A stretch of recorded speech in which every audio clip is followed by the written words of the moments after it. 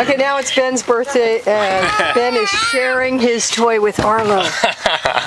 What do you got there, Arlo? Is that a chainsaw?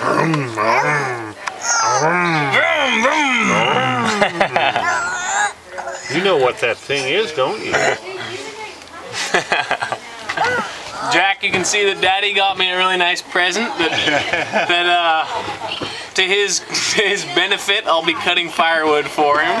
Good job. And Arlo, you're going to get to help you, right? yeah. Uh-huh.